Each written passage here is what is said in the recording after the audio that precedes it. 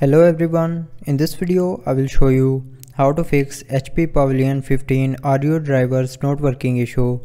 So before starting the video, don't forget to subscribe the channel and also press the bell icon. So to fix this issue, follow every single step as I am showing you in this video.